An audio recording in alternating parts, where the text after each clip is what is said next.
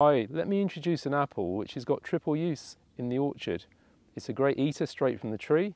You can cook it and it also makes a very good juice. And it's reckoned to be one of the good early apples that's a substitute for a kind of Cox type apple with a really good flavour. And here it is. This is Lord Lambourne, bred in 1903 by the Laxton's brothers in Bedfordshire. Has an excellent flavour and it's a really nice apple to have in the orchard. So let's cut one open and do a, a little sample of this. You can see it's got a good crisp look to it. It's almost ripe.